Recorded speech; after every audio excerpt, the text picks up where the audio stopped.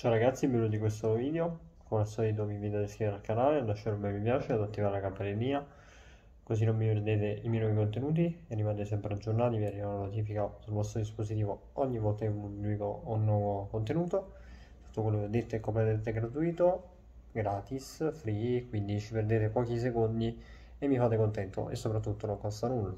Anche seguirmi su, su Instagram è gratuito, mi chiamo Prince of Football 12 e vi aspetto anche lì.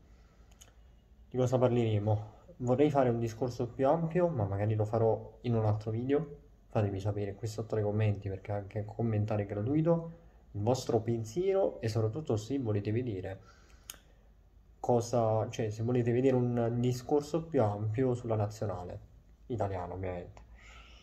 E io leggo tutti i vostri commenti, ragazzi. Se non stanno arrivando dei video è per lo stesso motivo che ho detto in altri video. Io sto pubblicando i video con la connessione dati e quindi sto pubblicando video corti e, e quelli che purtroppo ragazzi non posso rimandare. Parlare della Nations League già questo arriverà in ritardo per il motivo che vi ho detto prima. Eh, della Nations League devo parlare per forza e altri contenuti ragazzi anche se arrivano con ritardo possono arrivare in un secondo momento. Il campionato è finito quindi parlare dell'ultima giornata non è un problema non, non c'è fretta, ma anche gli altri video, ragazzi. Più tempo, insomma, più usciranno tardi, ma comunque anche più tempo per, per farli in un certo modo e farli uscire bene. Ci sono tanti video in programma, fantacalcio come è andato, eh, analisi di fine stagione, quindi con i risultati dell'ultima giornata, pagellone, come sono andate le prediction, ci sono tanti video in programma ragazzi, quindi eh, aspettate, solo questo vi chiedo, vi chiedo scusa ovviamente, non è una cosa che dipende da me. Purtroppo ho passato queste settimane a cercare un attimo di attivare la linea di casa, poi una volta uno sciopero, una volta problemi tecnici, purtroppo ancora non ho la linea di casa, ma è una cosa che succederà a breve, quindi vi chiedo di attendere. E poi pian piano farò uscire tutti i video, è chiaro che uh, cercherò di, di farli uscire um, almeno uno, uno al giorno e così da recuperare.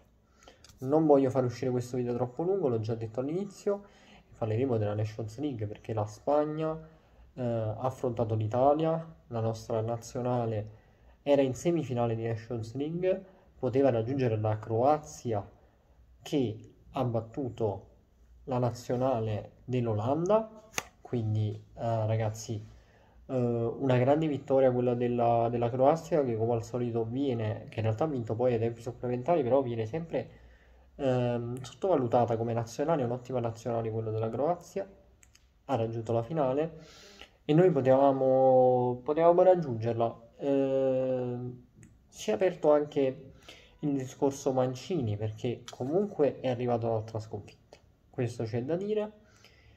Io direi di vedere prima eh, il risultato e, e poi parliamo della partita, perché credo che sia giusto veramente analizzare la partita nel dettaglio. Allora, partiamo malissimo perché al terzo minuto segna Jeremy Pino, giovane della Spagna, eh, già comunque nel giro della nazione da un po' di tempo. Errore di Bonucci, ragazzi, in realtà doppio errore clamoroso. Perde il pallone e ne approfitta Jeremy Pino, ragazzi. Eh, io, io sono senza parole. Perché un errore da un calciatore della sua esperienza mm, non te lo aspetti, o meglio io me lo aspettavo, ma non perché uh, parto prevenuto, parto con le mani avanti o perché non nutro stima nei confronti di, di Bonucci, io non nutro stima nei confronti di Mancini. Attenzione, io lo ringrazio e lo ringrazierò sempre per questo, per l'europeo vinto però per me andava cambiata la guida dalla non qualificazione mondiale, che è gravissima ragazzi, perché io penso e sono triste per bambini che non hanno mai visto un mondiale, non sanno nemmeno cosa sia, perché non ci ha partecipato la sua nazionale. E di per sé questo è gravissimo, cioè per me andava, andavano presentate, andavano rassegnate già le, dimi- le dimissioni al tempo. Adesso anche con questa eliminazione me andrebbero rassegnate, ma di questo ne parliamo dopo. E, e qui l'errore sia di Bonucci, ma chi ha chiamato Bonucci, chi ha fatto le convocazioni ne è responsabile il CT, Mancini, che ha mandato a casa Baschirotto, ha mandato a casa Buongiorno che poi è tornato, non mi sto salutando, eh, poi è ritornato per l'infortunio di Bastoni. A quel punto, ragazzi, Bonucci ha giocato, ha giocato da capitano, poi è stato sostituito dopo 45 minuti, ma l'errore è gravissimo da parte di Bonucci per un calciatore della sua esperienza, da parte di Mancini che non può convocare Bonucci, ma non perché sia scarso, perché semplicemente Bonucci, per quanto è il calciatore in rosa con più esperienza europea, non può essere convocato un calciatore che non gioca. Nella sua squadra di Calabria, nella Juventus, ragazzi, ha fatto la stagione per lo più in panchina e non è una cosa possibile convocare calciatori che stanno in panchina. Non è ammissibile. Ed è assurda questa cosa, ragazzi. Non, non transigo su queste cose che sono veramente cose banali, ragazzi. Ma come si fa a convocare un calciatore che non gioca? Io non, non, non me lo spiego. Io capisco l'esperienza, ma pensiamo all'esperienza, ragazzi. C'è anche Toloi, che comunque è un calciatore di esperienza. Sicuramente non ha l'esperienza che ha fatto, che ha Bonucci. Non, non ha giocato quello che ha giocato Bonucci, ma ragazzi, Toloi ha fatto una partita maiuscola. Per me ha giocato benissimo Doloi, non ha sbagliato praticamente nulla. E sostituito Bonucci è entrato Darmian, Darmian ha fatto altri danni, quindi non lo so, cioè, io fatico a trovare comunque calciatori che hanno giocato bene. Però andiamo avanti perché poi in realtà noi all'undicesimo pareggiamo sul calcio di rigore, guadagnato da Zagnolo che colpisce Lenormand, in realtà Lenormand la colpisce con la mano, ma la conclusione era stata di Zaniolo. Zaniolo eh, il primo tempo l'ha giocato bene, poi si è un po' spento. Eh, hanno, ha giocato Chiesa, altro calciatore che ragazzi nella Juventus ha visto poco il campo per infortunio. Titolare, mettiamo titolare. Eh, Reteghi l'abbiamo lasciato in panchina lì. lasciato titolare da Mancini perché era infortunato immobile e non l'ha fatto nemmeno subentrare. Quindi altra, altra cosa inspiegabile. E poi a centrocampo c'è stato Frattesi Qui è stato annullato un gol al ventunesimo eh, con il Valle, ragazzi. Io ho esultato come un pazzo perché stravedo per Frattesi. Io credo che il centrocampo, il centrocampo dell'Italia sia fortissimo, indipendentemente da chi gioca. E, però credo che veramente far giocare Frattesi questa sia stata una scelta giusta.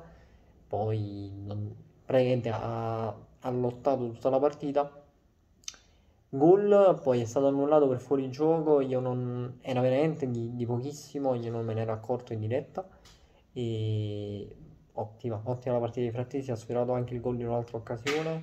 E veramente, un, un, giovane, un giovane che si è messo in mostra in questa stagione di Serie A e si sta mettendo in mostra anche con la nazionale. E lo stesso Frattesi a fine partita ha detto: Mi sono confrontato con calciatori che hanno presenza in Champions ed esperienza da vendere, giusto, giusto, eh, cioè paghiamo anche l'inesperienza dei nostri giovani, ma sono giovani di livello. Eh, quindi non mi spiego, um, mi spiego forse Zaniolo in attacco, non mi spiego Chiesa, perché per quanto Chiesa sia un calciatore di grandissimo talento, dopo l'infortunio non ci prendiamo in giro, non è lo stesso Chiesa che siamo abituati a vedere quello dell'europeo. Ripeto, io penso che dopo l'europeo mh, si è chiusa, si è chiuso un ciclo, andava riaperto un ciclo, svecchiando sicuramente, ma facendo anche una, mh, un cambio sulla guida tecnica, cosa che non è stata fatta. Ci sarà ancora molta, mh, molta fiducia in Mancini. Eh, io concludo comunque con all'88esimo la, la rete di Oselu che fa vincere 2-1 la Spagna, subentrato eh, uomo delle... nel finale, porta la Spagna in finale di Nations League in cui affronterà la Croazia, occhio, secondo me la Spagna non è imbattibile ed è questo che mi fa arrabbiare ancora di più perché la Spagna è una nazionale fortissima, è una corazzata, ma anche la Spagna ha cambiato tanto, eh?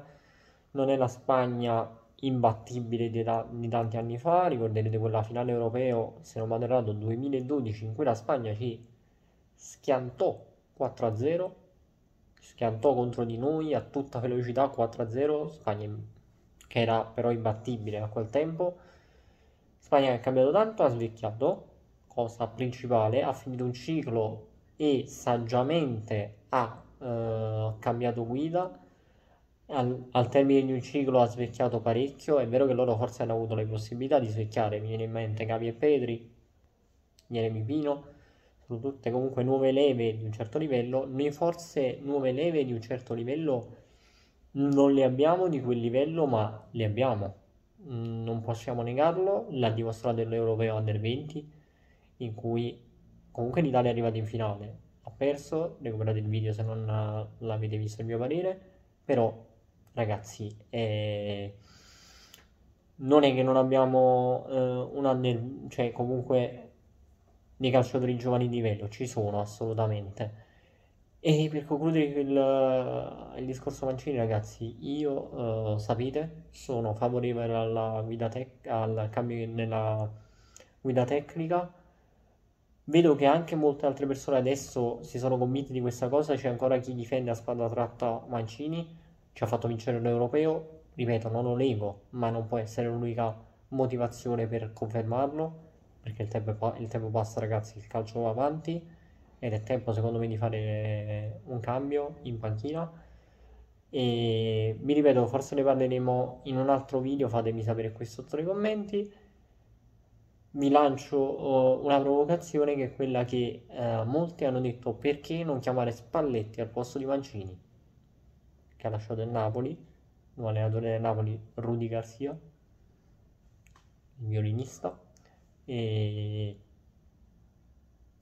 provocazione ragazzi che lascio a voi, lascio a voi l'ultima l'ultimo diciamo parere nei commenti l'ultima l'ultima parola a voi ragazzi. Non agli uruguagi in questo caso ma a voi qui sotto nei commenti. A me onestamente è un'indiscrezione che, che in realtà indiscrezione non è però è una provocazione che mi stuzzica particolarmente, anche se poi Spalletti ehm, esperienza mh, su panchine della nazionale non ne ha, però vi ripeto ragazzi, secondo me eh, il posto Mancini, chi secondo me potrebbe prendere il posto, Man- il posto di Mancini è un video a parte e ne parliamo nel prossimo video, in un prossimo video. Ci vediamo nel prossimo video, un salutone, iscrivetevi, lasciate mi piace attivate la campanella in linea, commentate, è completamente gratuito.